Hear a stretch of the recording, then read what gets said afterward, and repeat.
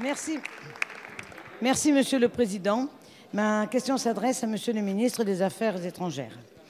Le sommet du G5 Sahel a été reporté en raison de l'attaque meurtrière d'Inates au Niger. Il aura finalement lieu le 13 janvier à Pau, où est basé le 5e régiment d'hélicoptères de combat, cruellement touché fin novembre par la perte de sept de ses soldats au Mali.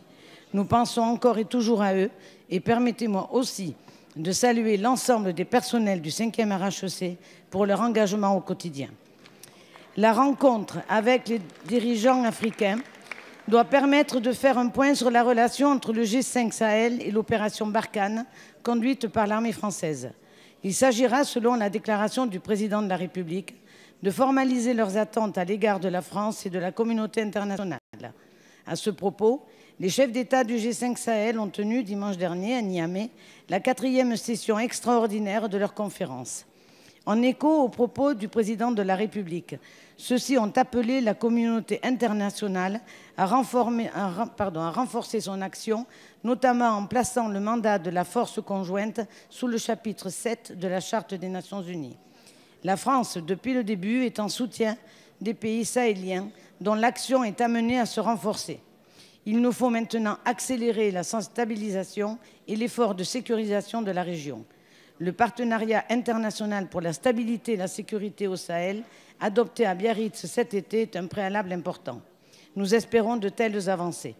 Monsieur le ministre, dans l'hypothèse où ce sommet formaliserait une nouvelle fois un appel en faveur d'une mobilisation plus large pour que le chaos ne l'emporte pas dans la bande sahélo-saharienne, avez-vous des éléments à nous communiquer sur une évolution possible de la communauté internationale à ce sujet?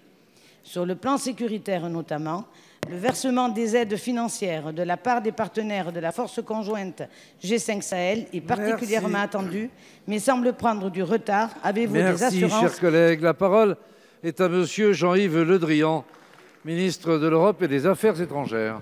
Oui, Madame euh, la députée euh, Josie Pouetto, je ne vais pas le rappeler devant l'Assemblée. Chacun le sait, ce qui se joue au Sahel, c'est notre propre sécurité en plus de celle des pays concernés. C'est la frontière sud de la sécurité de l'Europe. C'est un enjeu essentiel. Et comme vous, euh, je salue les résultats qui euh, ont été effectués lors du, sommet du G5, des cinq euh, chefs d'État des cinq pays du Sahel, qui s'est tenu à Niamey ce dimanche. Cette réunion s'est substituée à la réunion prévue à Pau en raison de l'émotion forte suscitée après l'attaque d'Inates à laquelle vous avez fait référence.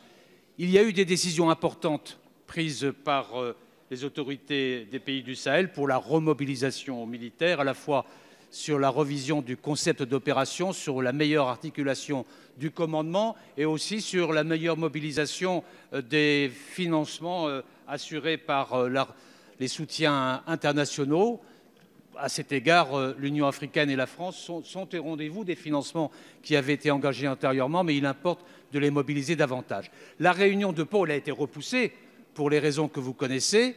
Elle aura lieu le 13 janvier prochain, en présence aussi euh, du haut représentant de la Commission européenne, M. Borrell, et du président de la Commission de l'Union africaine pour faire en sorte qu'il y ait une clarification, une remobilisation. Une clarification pour s'assurer que l'ensemble des acteurs est bien décidé à poursuivre le combat contre le terrorisme, que l'ensemble des acteurs le fait savoir dans son propre pays et qu'il s'agit d'un enjeu essentiel. Encore faut-il le redire ensemble. Et puis une remobilisation à la fois en termes militaires, je l'ai rapidement évoqué, mais surtout en termes de participation de l'Union européenne et de la communauté internationale, à la fois par le renforcement de l'action européenne, mais aussi par la mise en œuvre du partenariat que vous avez signalé, le partenariat pour la sécurité du Sahel, permettant une coordination internationale de l'action contre le terrorisme. Merci, Monsieur le Ministre. La parole est à Monsieur